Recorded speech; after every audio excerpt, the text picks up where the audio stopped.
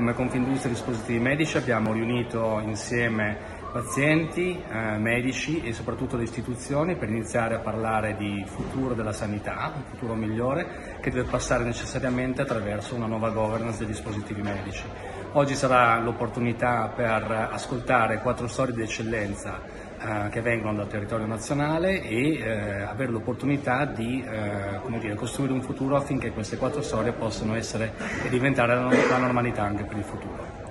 Quali sono le sfide più urgenti, Presidente? Le sfide più urgenti sono sicuramente quella di eh, definire la questione, superare il payback che oggi chiaramente eh, attanaglia un po' tutte le aziende e eh, in maniera parallela cominciare a parlare di futuro della sanità attraverso un, un nuovo modello di governance.